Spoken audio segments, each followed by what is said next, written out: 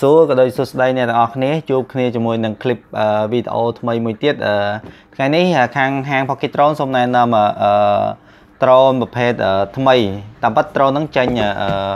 ពីពីឆ្នាំហើយប៉ុន្តែវាទៅ upgrade version ស៊េរីក្រោយគឺ drone ម៉ាក JY 019អ្វីដែលជាចំណុចពិសេសរបស់វាគឺវាកែការនីតិហោះហើរឲ្យឲ្យយូរជាងមុនវាមកជាមួយនឹងកាបូប view ហើយចំណុចមួយទៀតគឺវា upgrade កាមេរ៉ារៀងច្បាស់ជាងមុនអញ្ចឹងណាហើយតើតើនឹងការហោះហើរអីដូចគ្នាទេហើយអ្នកទាំងអស់គ្នាដែលអឺធ្លាប់លេងជាមួយ JY 019សេរីចាស់អ្នកនរគ្នានឹងនឹងដឹងពីសមត្ថភាពរបស់វាហើយវាអត់សូវខុសគ្នាប្រហែលទេអឺសម្រាប់ drone ប្រភេទអឺហ្នឹងគឺយើងអត់ហោះឆ្ងាយពេកទេសម្រាប់អ្នករៀនចង់រៀនលេង drone ដំបងណាតែអត់ចង់ចំណាយលុយច្រើនហើយអត់មានលទ្ធភាពទិញពួកអាសេរី GPS ណា ចឹងយើងអាចចំណាយទិញពួកអាហ្នឹងតម្លៃវាតែ20ម៉ឺនទេនៅក្នុងហាង Pocket Drone យើងលក់តែ20ម៉ឺនរៀលទេណាអឺសម្រាប់ drone ហ្នឹងមានថ្មមួយគ្រាប់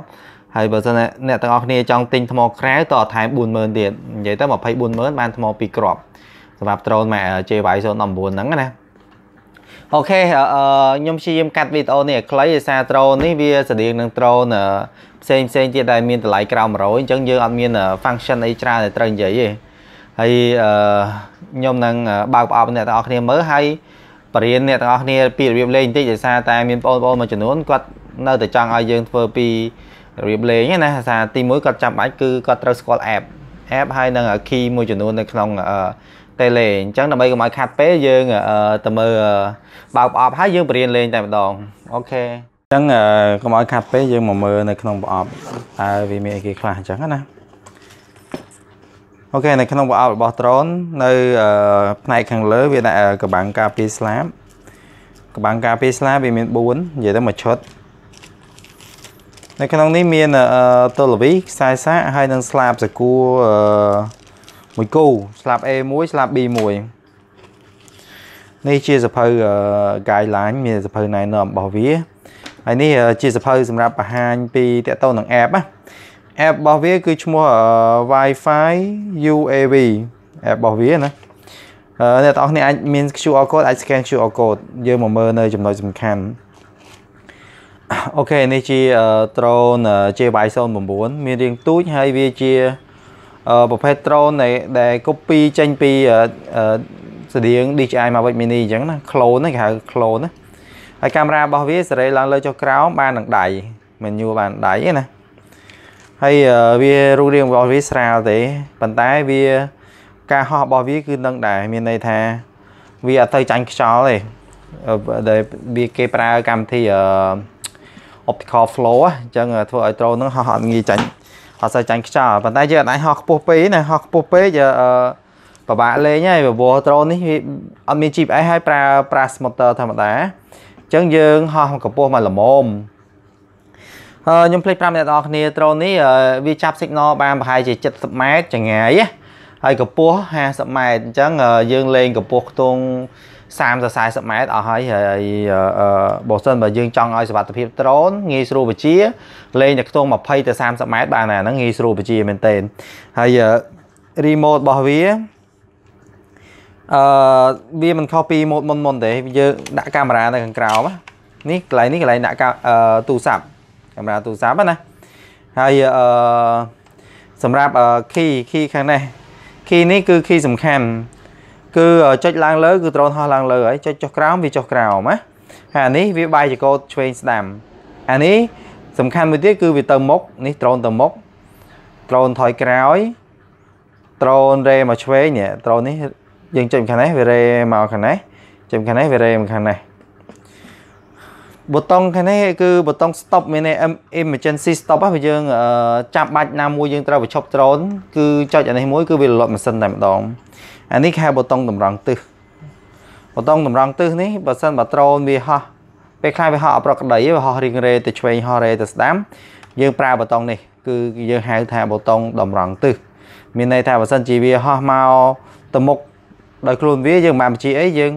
ចុចអាប៊ូតុងខាងក្រោមអូខេ អានេះគឺប៊ូតុងសម្រាប់ហោះឡើងអូតូហោះឡើងអូតូហោះឡើងអូតូចុះចតអូតូអូខេហើយคลิกអឺ ខ្ញុំបបាយខាងនេះស្រួលអ្នកទាំងអស់មើលគ្នាមើលចាបតងខាងនេះភាគច្រើនអឺយើងអត់សូវប្រើប្រហែលដែរប៉ុន្តែអ្នកខ្លះគិតចូលចិត្តលេង speed លេងអីយើងយើងចុចខាងនេះអាខាងនេះដៃ គឺចុចមកវាឡើង speed speed វាអឺជាធម្មតាវាមាន3 speed អានេះ speed អានេះសម្រាប់យើង flip 360 degree យើងហោះអាចហោះកលាប់360 degree បានណាតង់ខាងក្រោមហើយបន្តខាងនេះបន្តខាងនេះបន្តថតរូបថតវីដេអូខ្ញុំ recommend ឲ្យអ្នកទាំងអស់គ្នាថតទូរស័ព្ទឲ្យស្រួលវាចាប់បានល្អបើសិនយើងសតថតតេឡេយើងចុច1ថតអឺស្លាក់យើងចុចសកាត់ឲ្យជាប់វានឹង load record វីដេអូហើយ អាហ្នឹងណាហើយនេះ headless mode យើងមិនបាច់ប្រើ headless mode ហ្នឹងអូខេឥឡូវខ្ញុំដាក់ថ្មសិនថ្មវាគឺថ្ម double A ទេអឺដ្រូនថ្មីវារៀងតឹងបន្តិចណាកន្លែងបើកថ្មអញ្ចឹងយើងបើកយ៉ាត់បន្តិចអញ្ចឹងថ្មថ្ម double A វាបានមកជាមួយដ្រូននេះយើងត្រូវទិញដាក់ខ្លួនឯងសម្រាប់ថ្មហ្នឹងណាយើងទិញថ្ម5 3ដងក៏បានដែរធូរថ្លៃហើយវា ក៏ប្រើបានយូរដែរអូខេអញ្ចឹងយើងដាក់ថ្មហើយហើយត្រូននេះពេលមកពីនេះវាអត់អត់ជាប់ក្លឹកទេអញ្ចឹងយើងរុញវាបន្ថែមណារុញវាបន្ថែមឲ្យជាប់មកយើងអាចធ្វើការអឺធ្វើការបច្ឆេះត្រូនបានហើយដោយសារយើងចុចនេះយើងចុចប៊ូតុងនេះមកចុចសកត់មកត្រូនចាប់ដើមលោតភ្លើងភ្លឹបភ្លឹបភ្លឹបវាអត់តន់ connect មួយ tele ទេអញ្ចឹងយើងចុចបើក tele វាមួយទៀតមកហើយយើងរុញនេះឡើង ចុះក្រោមអញ្ចឹងភ្លើងវាជប់លោតែអញ្ចឹងមានន័យថាអឺវាចាប់ដើម connect រវាង drone ហើយនិង tele ហើយអញ្ចឹងអ្វីយើងបន្ទាប់យើងត្រូវមាន គឺ ប្រសិនបើអ្នកទាំងអស់គ្នាចង់មើលរូបភាពពី drone អ្នកទាំងអស់គ្នាត្រូវមានទូរស័ព្ទដៃទូរស័ព្ទដៃមកយើងអឺបើយើងអត់មាន app របស់វាយើងចូលនៅក្នុង store ចូលនៅក្នុង store មកយើងត្រូវវាយពាក្យថា Wi-Fi UAV ដក clear u នេះ Wi-Fi UAV យើងយើង select វាទៅអញ្ចឹងយើងចុច get សម្រាប់ download អានេះនៅក្នុងអឺ Android ឬក៏ iOS វាដូចតែគ្នាទេវាមានដូចគ្នាទេអញ្ចឹងយើងរងចាំឲ្យវាពេញ អូខេឥឡូវវាបានពេញហើយបានពេញហើយយើង open វានៅហ្នឹងក៏បានយើង back មកវិញក៏បានអូខេឥឡូវបន្តមកទៀតយើងចូលនៅក្នុង setting ទូរស័ព្ទដៃរបស់យើងយើងចុចកន្លែង Wi-Fi យើងចុចកន្លែង Wi-Fi មកយើងចាំមើលវា load ចេញឈ្មោះ Wi-Fi drone នេះឈ្មោះ Wi-Fi Wi-Fi drone អញ្ចឹងយើង select ពីលើវាទៅ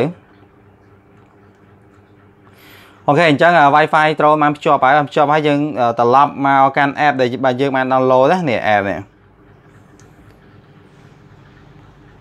ចឹងមុនដំបូងវាវាចេញឲ្យយក allo យក allo តាមវាទៅហើយយើងចុច start មកគឺវាចាប់ដើមសូរូបភាពនៅហ្នឹងហើយខ្ញុំលើកដ្រូនឲ្យអ្នកទាំងអស់គ្នាមើលរូបភាពនៅក្នុងនឹងបន្តិចអ្នកគ្នាឃើញវាចាប់ដើមសូរូបភាពនៅក្នុងហ្នឹងហើយ គឺរូបភាពរបស់វាគឺទទួលយកបាន គឺទំហំរបស់វាគឺវីដេអូគឺ18អញ្ចឹងបើថាយើងប្រៀបធៀបនឹងអឺកម្រិតរូបភាពសិល្បៈអាចបានខ្ទង់8មេដែរ8មេហ្គាពិកសែលអូខេឥឡូវយើងទៅតេស្តបន្តិចខ្ញុំតេស្តតេស្តនៅក្នុងហាងណាតែអ្នកទាំងអស់គ្នាមើលបន្តិចនៅក្នុងហាងអូខេឥឡូវយើងចាប់តាមតេស្តទាំងអស់គ្នាខ្ញុំចាប់ដើមភ្ជាប់ហើយអស់ហើយហើយមុនធ្វើការហើយយើងអាចចុច refresh drone មួយទៅយើងរុញអានេះចោះ យើងរុញចូលគ្នាអញ្ចឹងភ្លើង drone វាចាប់ដើម load តែពេលដែលយើងរុញប៉ុន្តែដាក់ drone នៅកន្លែងរៀបស្មើចាំមើល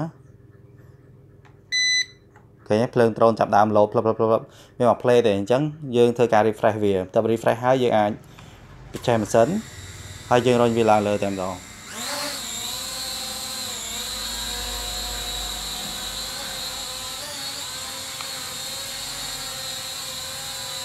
ចាំមើលខ្ញុំសេរីឲ្យអ្នកនរគ្នាមើលស្រួលបន្តិចសារខ្ញុំអឺថតម្នាក់ឯងដោយអ្នកនរគ្នាដឹងថាហើយអ្នកដែលតាមដានវីដេអូខ្ញុំគឺអត់មានអ្នកជួយទេគឺខ្ញុំថតតែម្នាក់ឯងទេអូខេអញ្ចឹងខ្ញុំកាច់កាមេរ៉ាឡើងទៅលើអ្នកនរគ្នាឃើញការហោះហើររបស់ដ្រូនហើយអឺការហោះរបស់វាមុនដំបូងវារៀងអឺខ្ញុំរុញមកចិត្តបន្តិចពេលខ្លះវារៀងរ៉េមកឆ្វេងរ៉េមកស្ដាំបន្តិចបន្តិចយើងអាចអឺចែកបតង់តម្រង់ទិសដែលខ្ញុំប្រាប់ណា គឺចុចបតង់តម្រង់ទិសហ្នឹងទៅគឺដ្រូនវាចាប់ដើមនៅ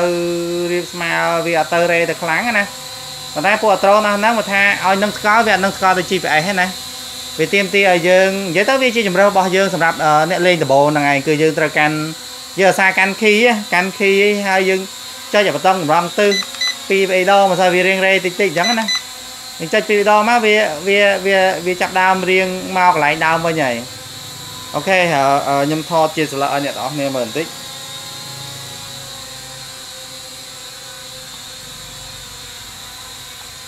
នេះខ្ញុំហោះដោយសារហាងខ្ញុំទូចដែរអញ្ចឹងណាខ្ញុំរៀងហោះឡើងទៅលើបន្តិចដើម្បីថតរូបភាពទៅវាបានស្អាតបន្តិចឥឡូវខ្ញុំថតជាវីដេអូហើយរូបភាពហើយនឹងវីដេអូនេះខ្ញុំនឹងដាក់នៅ ចុងវីដេអូអ្នកទាំងអស់គ្នាអាចមើលកម្រិតវាផ្ទាល់អញ្ចឹងណា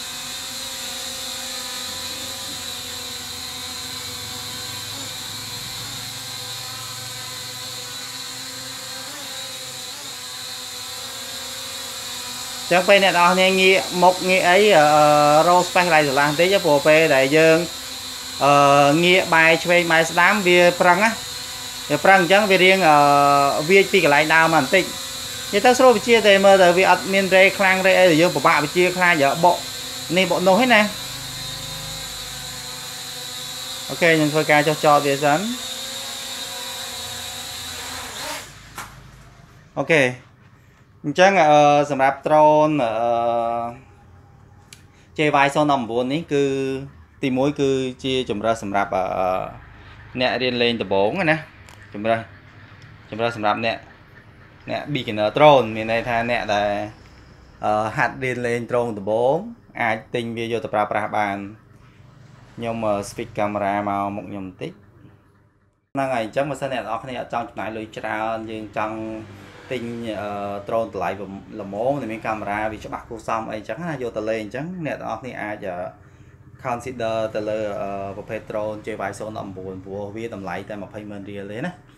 អូខេអញ្ចឹងបើសិនអ្នកទាំងអស់គ្នាមានចម្ងល់តាក់ទងនឹង drone នេះ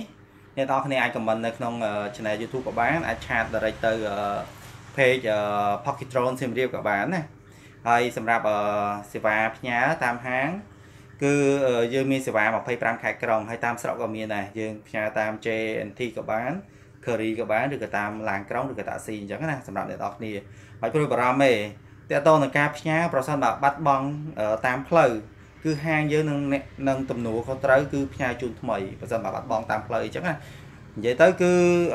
ទទួលបានលុយអ្នកនរគ្នាគឺអាវ៉ាន់ដល់ឯងអ្នកនរគ្នាហើយ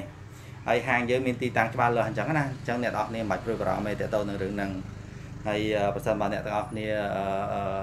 ចង់មើលវីដេអូថ្មីថ្មីទៀតនិង review ប្រភេទ drone ឬកាឡាមផ្សេងផ្សេងទៀតសូមជួយ subscribe នៅ channel YouTube របស់ហាង Pocket Drone ផងណា អូខេអញ្ចឹងអរគុណច្រើនជួបគ្នានៅវីដេអូក្រោយៗទៀតបាយបាយ